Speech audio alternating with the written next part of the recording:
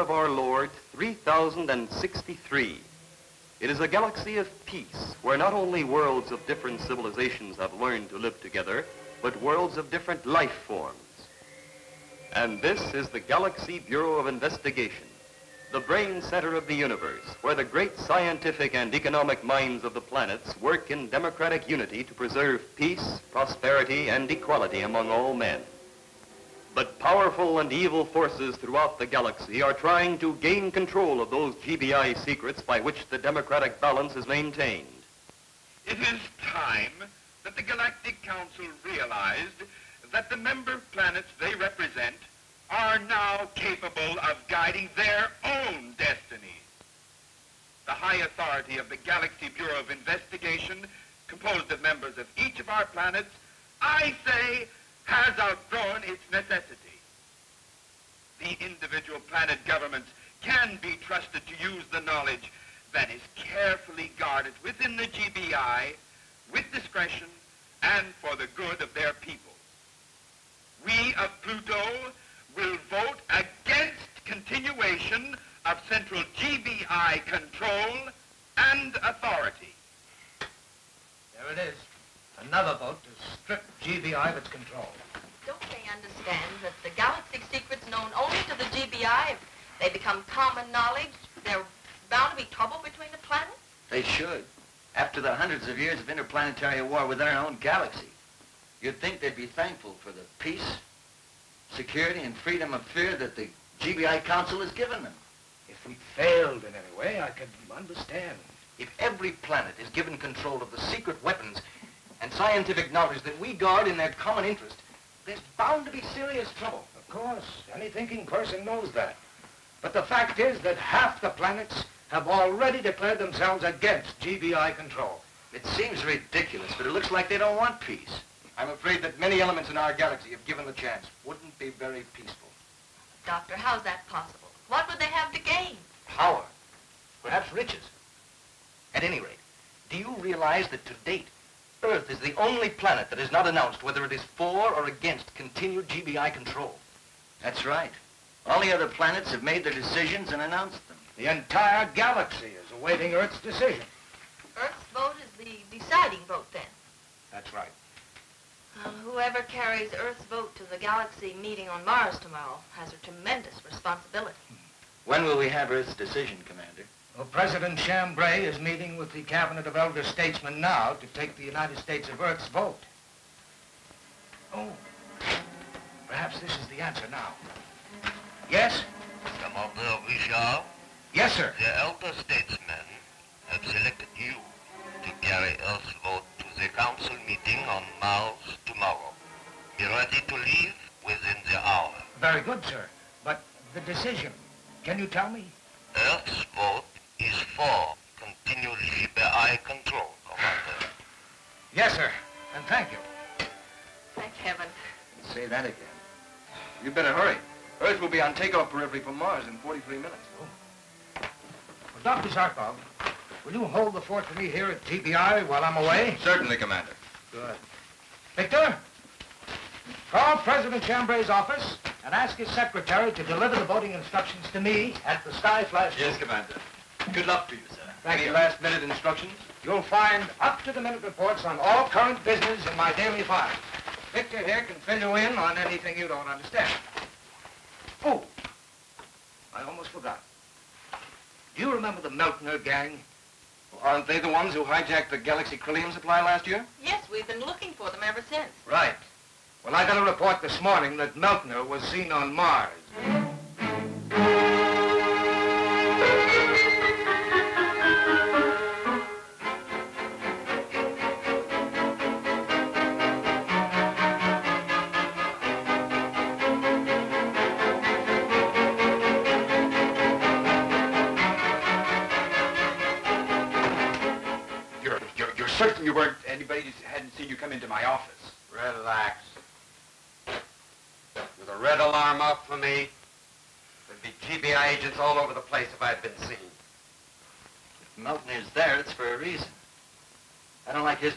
Being when the Council is voting its most important decision in galaxy history. Hmm. I've ordered a red alarm put out for him on Mars.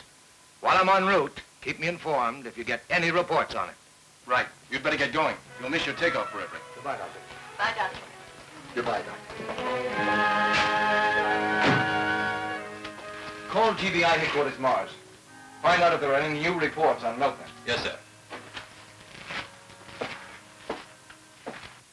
Call me here to Mars? Another Corellium hijacking job for Pluto? Much more important than that, Meltner. In two days, the Galaxy Council meets to abolish GBI control of secret weapons. And they will give all of this information to the individual planets. The deciding vote is Earth's. In talented hands, such as ours, we could dominate the galaxy in six months. Now I understand what you've been doing with the Corellium I hijacked. You've been buying votes.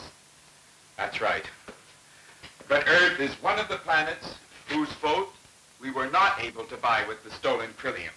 So, what can I do to make Earth vote with us? With the help of the machine in that box, you will stop them from voting. Galaxy Council regulations provide that a voting delegate of every planet must be present when a vote is taken affecting all planets. If one is missing, however, it is forced to accept the decided vote. I see. If Earth's representative isn't there to vote, they gotta accept the vote of the majority that was present. What is it? We've received a report that Commander Richards, Earth's delegate to the Galaxy Council meeting, has just taken off from Earth accompanied by Flash Gordon and Dale Arden. Gordon, Good.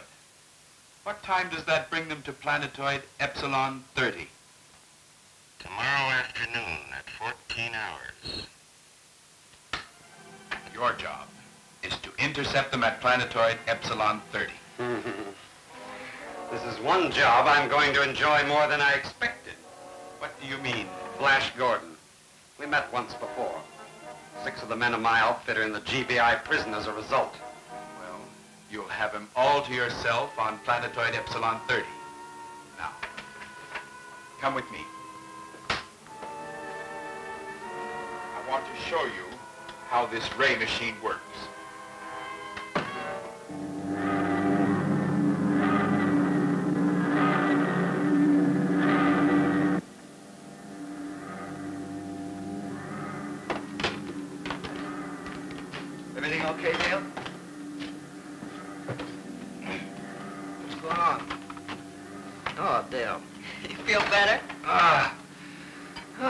Sound sleep I've had in three days, ever since the elders started their debates.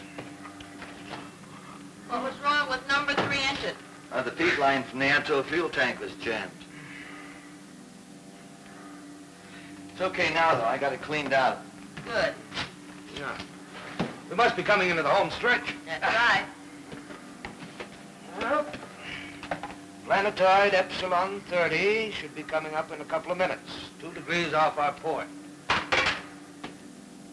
Should reach Mars in about three hours.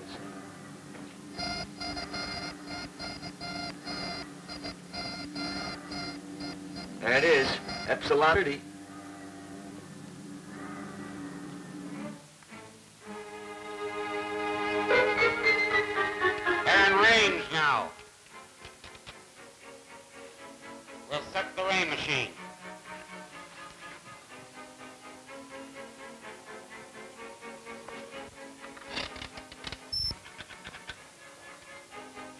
Point seven. Trajectory line minus four. Point five. Trajectory line minus two. Point three. Trajectory line zero.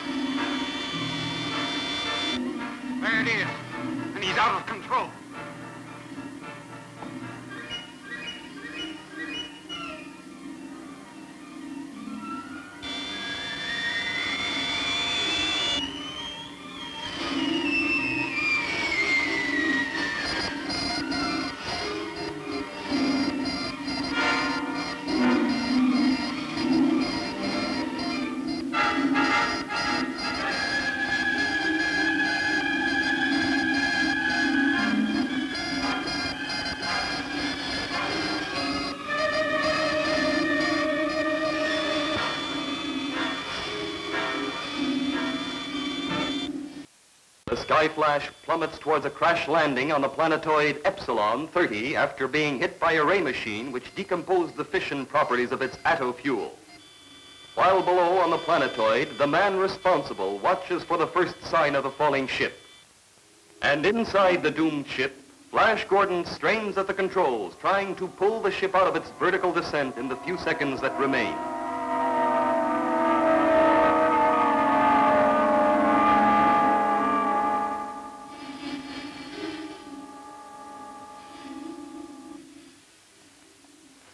He pulled it out. One chance in a million, and Gordon pulled it out. Well, get them when they land.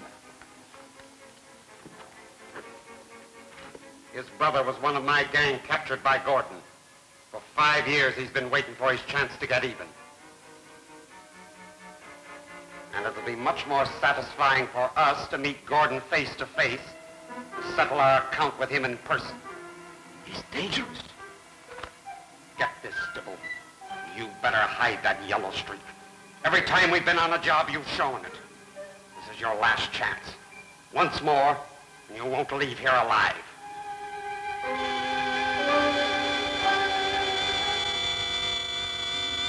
Talk about living on borrowed time. How you ever pull this out of that one, Flash, I'll never know. It might be a case of out of the frying pan and into the fire. We've still got to find a place to land quick. We're losing speed. I can feel it. That isn't our only worry. The hydrogen that powers our landing jets may have been affected by the ray, too. Why don't you make a test blast to be sure? Right. Now.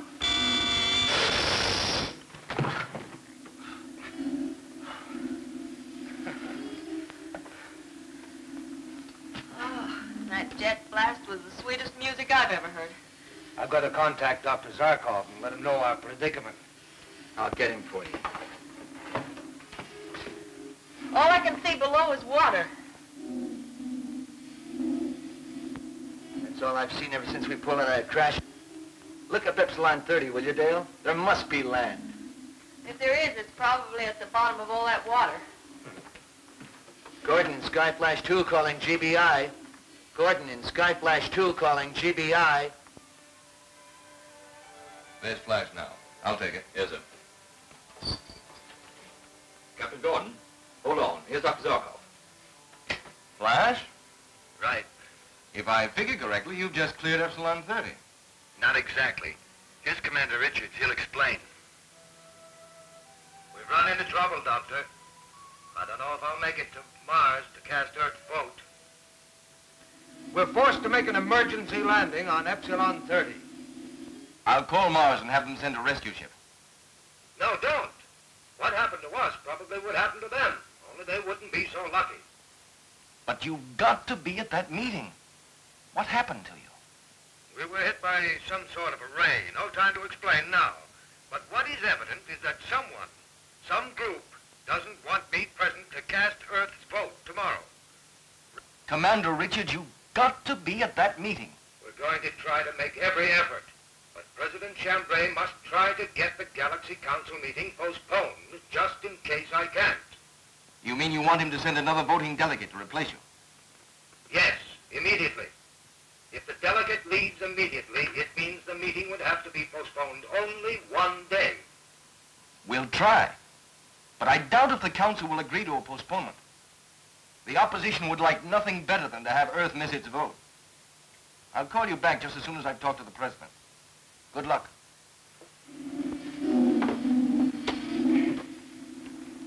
Find any land? Yes, we overshot it when we were pulling out of the crash dive. We should be landing in a couple of minutes. Yeah, it's coming up. Take positions for a landing.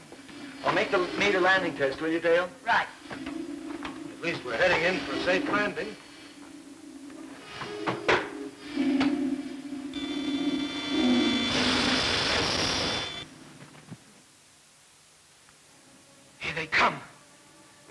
Probably spotted our ship on the flat over there.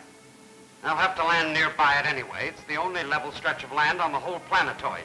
Come on. They'll be disappointed if the reception committee isn't waiting when they get off their ship.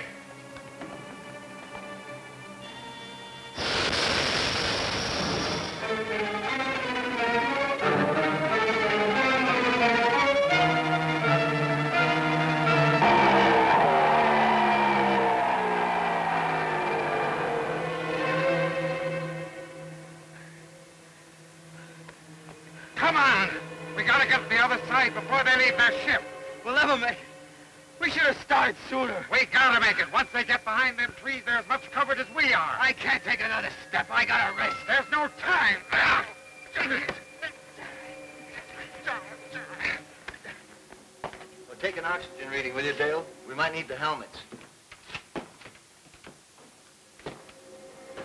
Oxygen sufficient, impurities supportable. Okay, let's go. Now remember, whoever was in that ship we saw while we were landing isn't far away. If they're hostile, we're clay pigeons until we gain the protection of those trees. Come on! Come on, gotta move on. Come on.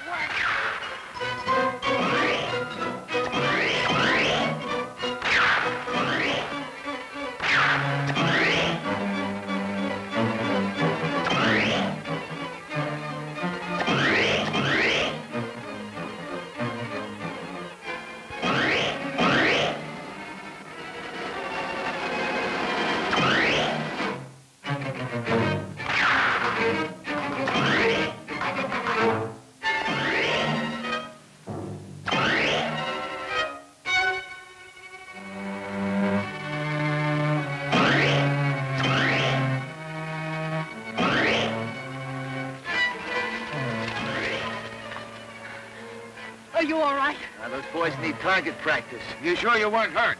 all the pieces seem to be in one place. Well, our chances of getting out of here, even if our luck holds in time for me to make the council meeting on Mars, are practically nil.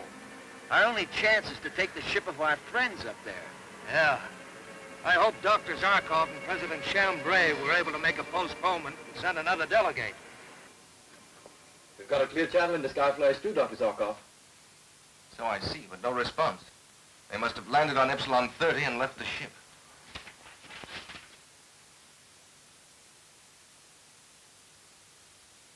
President Chambray's office calling. I'll take it.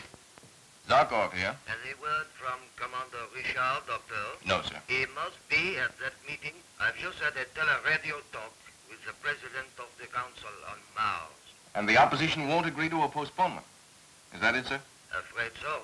With Earth's vote for GBI control missing, the opposition is certain to win. We'll keep trying to contact Richards. Meanwhile, I think I might be able to get a postponement. How? Do I have your permission to speak with Cribian, the Pluto delegate and head of the opposition? Go ahead and let me know what happens.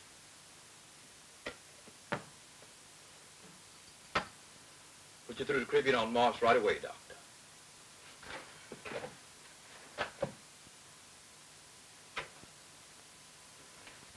Cribian's ready to speak, sir. Mr. Delegate? Dr. Zarkov here. How nice to hear from you, Dr. Zarkov. It's been a long time. Thank you. Is Commander Richards with you? Richards? With me? How could he be? He hasn't arrived on Mars. What? Oh, I'm sorry. I thought you knew. You thought I knew what? That Richards landed on Mars incognito over an hour ago. That's impossible. I mean, uh, no one's been told. I spoke to him less than 15 minutes ago. From here? Well, now that he's safe, I guess there's no harm in letting you know that we sent two ships from Earth. You mean he wasn't on Skyflash 2 with Flash Gordon? You can appreciate the necessity for a decoy. Earth's vote is too precious to take chances. If Richards comes to see you, have him call me, will you? Zarkov! Zarkov!